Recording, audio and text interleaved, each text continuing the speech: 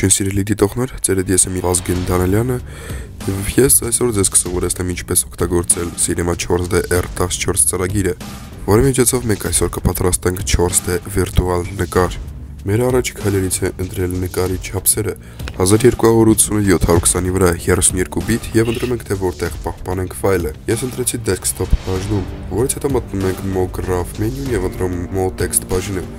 Ինչպես տեսնում եք, մեր մոտ ստեղծվեց նոր օբյեկտ, տեքստ, եւ տեքստի մեջ մենք գրում ենք մեր ուզած բառը։ Ես կգրեմ դպրոց համար 3, այսինքն school number 3։ Իսկ հիմա մենք ընտրում ենք թե նա ինչ ցև պետք է երևա, այսինքն շրիֆտը, որից հետո ընտրում ենք նրա չափսերը, իսկ ավելի ճիշտ կլինի ասել շրիֆտի չափսերը։ Այստեղ կան լիքը շրիֆտներ, ընտրությունը իրոք շատ մեծ է, բայց մեզ պետք է գա միայն մեկը, Եվ ահա շտիվ շրիֆտը ընտրեցինք։ Իսկ հիմա մենք պահում ենք մկնիկը մոլ տեքստի վրա եւ իջեցնում control-ով ներքև, այսինքն մենք ստեղծում ենք այդ նույն տեքստի կոպիան։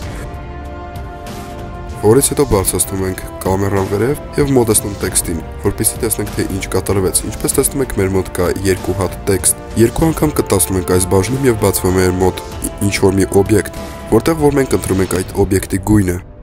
Հետո նորից նույն օբյեկտ ենք ստեղծում եւ ընտրում ենք սև գույնը։ Իսկ հիմա տեղափոխում ենք գույները տեքստի մեջ եւ ահա ինչպես տեսնում ենք, տեքստը ունեցավ իր սեփական գույնը։ Դրանից հետո ստեղծում ենք հատակ, որի կոորդինատները գնում ենք 12, 12 եւ 12։ Այսինքն շատ մեծ հատակ։ Ստեղծում ենք նոր օբյեկտ, որի մեջ որ գրում ենք reflection։ Իսկ reflection-ը թարգմանաբար նշանակում է արտացոլանք։ Reflection բաժնում ընտրում ենք ֆայլի ձևը։ Ես կընտրեմ galaxy այսինքն գալակտիկա, բայց միայն նրա համար, որպեսի ցույց տամ ձեզ թե նա ինչպես է երևում։ Ինչպես տեսնում եք, գալակտիկան աշխատեց, բայց այդքանը չի սազի school համար 3 հետ, այդ իսկ պատճառով ես կփոխեմ։ Ինչպես տեսնում ենք, այն ավելի գեղեցիկ է երևում, բայց որպեսի տանք նկարին ավելի գեղեցկություն, մենք ստեղ մտնում ենք մոգրաֆ բաժինը եւ ընտրում տուբ օբյեկտը, որը որ թարգմանաբար նշանակում է գլան։ Կոորդինատները գլանի փոխում ենք եւ ստեղծում են մեծ 2000-ը 1500-ի վրա եւ բարձրությունը գրենք մոտավորապես 2000, ինչպես տեսնում եք, մեզ մոտ մեծ կլան ստեղծվեց, որի մեջտեղում է կա հենց մեր տեքստը։ Ստեղծում ենք նոր օբյեկտ, որի մեջ որ ընտրում ենք նրա գույնը։ Ցանկալի է ընտրել նորից reflection, իսկ այն նրա տեսքը կընտրեմ earth-ը, այսինքն երկրագունդ, երկիր մոլորակը, եւ տեղափոխում ենք այն մեր կլանի մեջ։ Ինչպես տեսնում ենք, այն իրոք շատ գեղեցիկ նայվեց, բայց միևնույնն է, ինձ թվում է, որ այն արժի փոխել, բայց փոխելը պետք հատակը։ Ինչպես տեսնում եք, ոչինչ չփոխվեց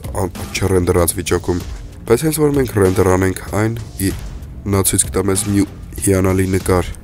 Դրա համար մտնում ենք Mograph բաժինը եւ այնտեղից ընտրում плоскость օբյեկտը։ Իսկ հետո ընտրում Mograph-ում cloner բաժինը եւ плоскостью տեղափոխում կլոների մեջ, որից հետո փոխում ենք կոորդինատները, այնպես ինչպես ցույց է տրված վիդեոյի մեջ 1500-ից 2000 իսկ հետո որ պլոսկես տիպաժինը ավելի գեղեցիկ նավի, մենք բացում ենք նոր օբյեկտ, որի մեջ ընտրում ենք լուսավորություն կոճակը, տեղափոխում այն կլոների մեջ։ Իսկ դրանից հետո որոշում ենք, թե նա ինչպես պետք է նայվի, Ինչպես տեսնում եք, նա երևում է մոտավորապես այսպես։ Գեղեցիկ է նայվում, բայց դեռ սա ամենը չէ։ Մտնենք մոգրաֆ բաժինը եւ ընտրում այնտեղ տեքստը, որից հետո տեքստ բաժնում գրում ենք այն, ինչ որ ուզում ենք։ Օրինակ ես կգրեմ by Vazgen